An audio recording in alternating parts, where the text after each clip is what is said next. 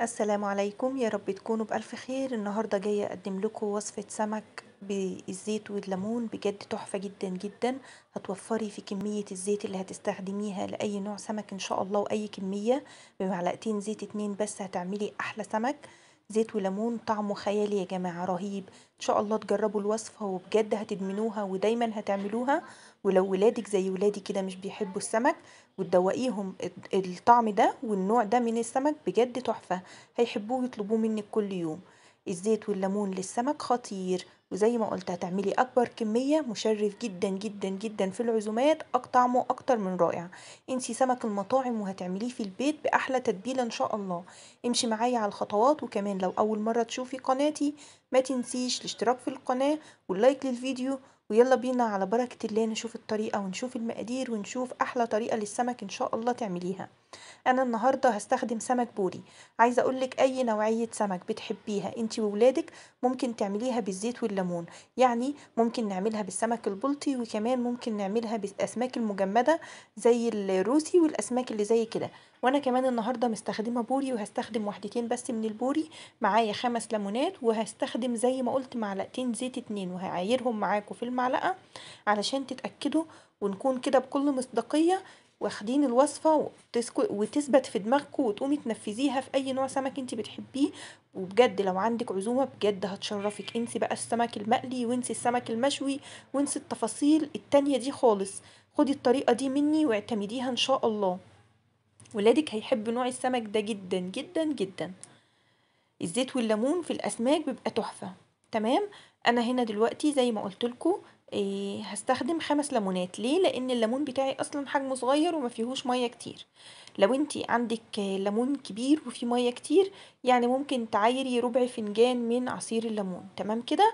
نبسط بس كل الخطوات معانا علشان في ناس يعني عايزة أقولك كمان كمية الليمون دي براحتك حابة تزوديها لو انت بتحبي مزازة الليمون قوي أو تقلليها سنة صغيرة تمام؟ ولكن هو أفضل مش أقل من كده علشان طعم الليمون يكون واضح. كلنا عارفين إن أي نوع سمك بيحب الليمون جدا جدا جدا.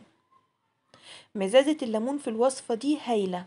وشوفي بقى هنوفر زيت وانسي بقى المقلي وانسي الحاجات دي وكمية الزيت اللي بتهدريها وجربي الوصفة دي. في أي نوعية سمك تمام؟ أنا بوريكم هنا إن ده في حدود ربع فنجان من عصير الليمون الصافي.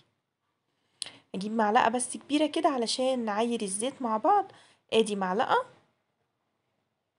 وادي التانية بس كده. طبعا أنتي لو هتضعفي كمية السمك إيه هتزودي بس مقدار الليمون ولكن الزيت ثابت معانا تمام؟ بتظبطي بقى الملح على حسب كمية الزمك السمك بتاعتك. أنا هنا مستخدمة نص معلقة صغيرة من الملح للوحدتين السمك بتوعي. طبعا كزبرة ناشفة كزبرة مجففة مطحونة ناعم ذرة بسيطة كده من الفلفل الأسمر بتديكي طعم تاني خالص. كمان هنا الكمون مزودة في الكمون شوية ومستخدمة معلقة كبيرة. أنا هنا كمان حطيت نص معلقة من البابريكا علشان تظبط معايا لون السمك في الفرن. تمام كده؟ تفاصيل معاكم واحدة واحدة. هدوب الزيت والليمون والتوابل والملح مع بعض كده بالمعلقة. تمام؟ هعمل معاكم كمان خلطة تحفة جدا جدا لحشو السمك. ممكن تعتمديها في السمك السنجاري أو تعتمديها في أي نوع سمك أنت بتحبيه. حتى لو سمك مشوي بالردة ممكن تحشي قلبه بالتتبيلة اللي هنعملها مع بعض دي. فصين تلاتة كده من التوم. هدوبهم كمان ويا خلطة الزيت والليمون والتوابل. اللي إحنا عملناها بالشكل ده. عايزة أقول لكم إن أنا كنت عاملة بوري مشوي وكلنا عارفين طعم البوري المشوي بالردة عامل إزاي وجماله. أي ولكن طعم السمك بالزيت والليمون ده بجد يعني اللي ده ده وده ده نسينا خالص إن إحنا كنا عاملين سمك مشوي أي بوري. وبجد الخلطة تحفة هايلة من جمالها الكل حبها. يعني الوحدتين دول كلنا كلنا منهم وسيبنا السمك البوري. تمام؟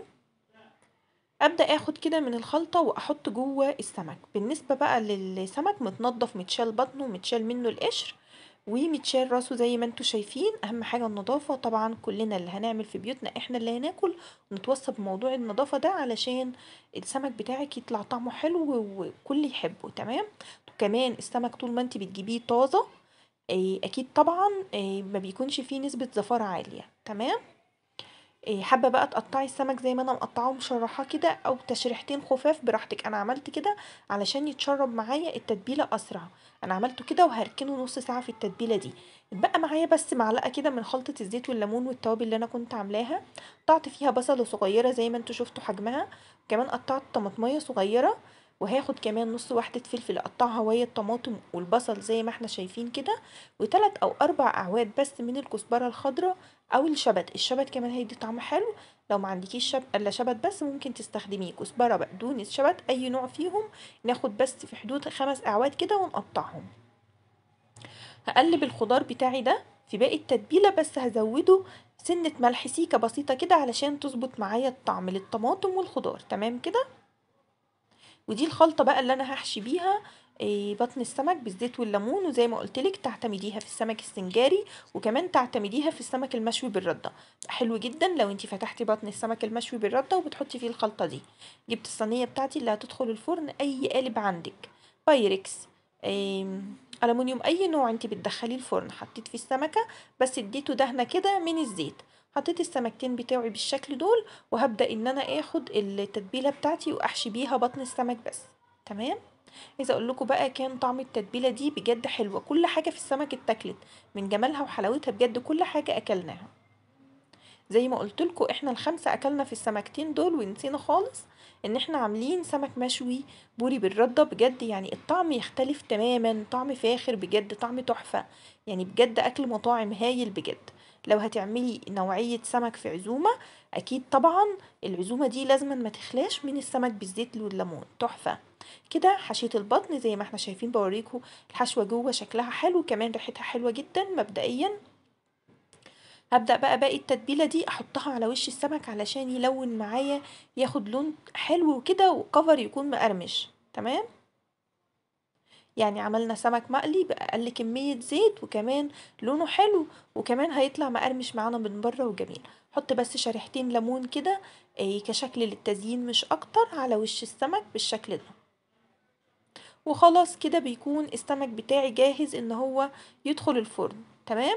تحبي بقى تعملي جنب منه أي نوعية رز بتحبيها آه، رز صيادية بالبصل البني أو تعملي رز أبيض بالزبدة أو تعملي رز حباية وحباية أي نوعية سمك بتحب رز بتحبيها جنب السمك اتفضلي اعمليها طبعا هتبقى حلوة يعني بتاكل مع أي حاجة.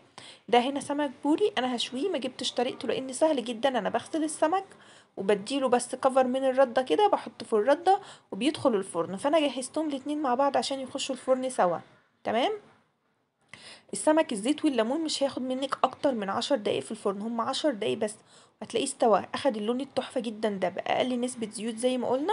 أنا عملت هنا جنبه رز بالزبدة كان طعمه تحفة جدا. ورز أبيض بس من غير أي إضافات تانية وعايزة أقول لكم بجد كان هايل. إيه بجد عجبنا جدا جدا جدا. عملت كمان جنبه سلطة خضراء تقدري تعملي جنبه سلطة بابا غنوج بتنجان مشوي تقدري تعملي جنبه آه، شوية آه، طماطم كده محشية بالثوم والبقدونس بتبقى هايلة جدا كمان. تقدمي جنبه اللي انت عايزاه وأكيد زي ما قلتلك لو عندك عزومة ما تخلاش من النوع ده لأنه بجد يشرف يخليكي كده ترفعي رقبتك كده وتقفي فخورة بنفسك إن انت عاملة نوعية السمك دي أحلى من المطاعم أتمنى تجربوا الوصفة وتعجبكم وكمان ما تبخلوش عليا بال like وبالهنا. أشوفكم الفيديو الجاي على خير. bye bye.